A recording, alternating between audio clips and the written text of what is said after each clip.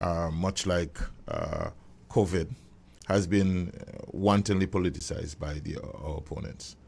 The fact of the matter is, and there is a clip about two weeks ago um, where the head of the meteorological services, or the deputy head of the meteorological services, um, had bylined an article indicating that this is the worst um, drought period we have had in 90 years. That is a meteorological wow. fact. Hmm. 90, not 90 years, 80 years. That's a meteorological fact. It, it cannot be refuted.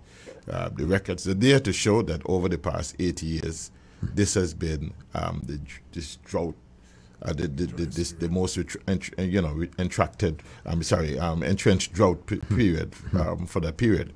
And what does that mean? It means that the surface water sources, the Potworks Dam is, is, is as dry as chips. Mm-hmm. And the groundwater sources, where we would be able to um, get water from the aquifers um, in, in, terms of drilling wells, those two have been dried. Mm-hmm. Even if we were to have rains like we had in November of 2020, mm-hmm. um, all of a sudden, um, the, the science shows that it's going to take approximately three years, Colin, for the aquifers to be replenished such that APUA can get water again from ground sources to be able to put in the pipes. Hmm. We have multiple problems dealing with the distribution of water. We have an age, um, decades old um, water distribution system that are filled with um, cast iron pipes hmm. and um, some PVC pipes that are prone to to to, to being cracked and uh, you know, uh, subject to all sorts of cracks and disruptions whenever the, the, the earth gets dry and, and there's movement of the soil. Mm-hmm. We also have a situation where, in order for us to be able to get to um, reverse osmosis produce water, mm-hmm.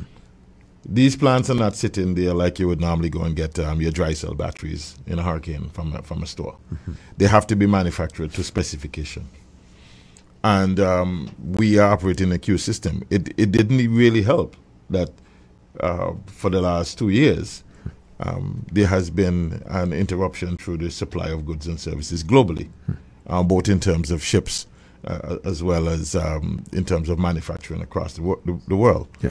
We happen to have gotten our supplier out of Dubai, mm. company by the name of Waterworks. And Dubai is noted, I was just there two weeks ago.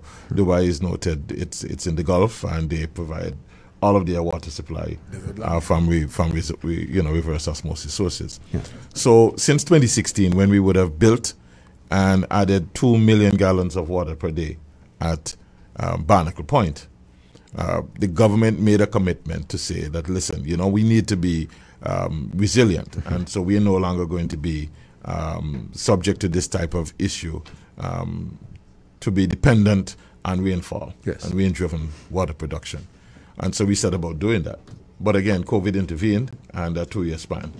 So we're now at a position where we have demonstrated already. I think we APUA runs along with ABS a waterworks program every Friday.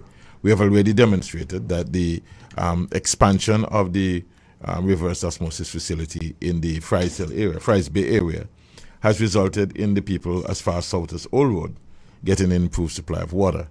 Um, APUA has indicated that they're going to be putting in a new reverse osmosis plant in the Fort James area. Anyone who visits that area will see that the construction has begun. So it's not a bluff. Work is being done. And um, we have actually gone beyond the 500,000 gallons and have indicated to them that we want to go upwards to approximately 700,000 gallons.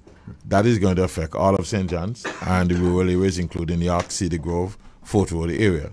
Um, and uh, when that is complete, perhaps maybe by the end of June, July, mm-hmm. because again, they have been suffering from deliverable timelines that are being moved outside of their control. Mm-hmm. The shippers um, have had an effect on the, the timelines. Uh, but we receive weekly updates from Cabinet, and this is where we had actually called and asked for um, Messrs. Um, Martin and Lewis yes. to come to cabinet to explain to us. So we are on schedule to be in a position by the end of November to produce upwards of 10 million gallons of uh, reverse osmosis water, which would be, from our forecast, sufficient to supply every household in Antigua with potable water. And not just that, Colin, but we have also had the, um, the, the concurrent commitment to improve and repair the distribution system because the APU has indicated that they're now putting in uh, the HDP pipes, which are more resilient to earth movement and are less prone to cracks. And so we would expect that there are some areas with the um, that are in higher elevations. Uh, we have spoken to them about the uh, the um, inline pumps, the uh, booster pumping stations, and so we would expect them to come back to cabinet with budgets for that as well. I will say this, though, Colin, in closing, that there are no other three areas of government, no other three areas of government, Colin, has received as much funding as Yes. health, education, and the water services. Mm-hmm. Over the past year, the government would have spent and allocated more than $130 million to mm-hmm. treat with this particular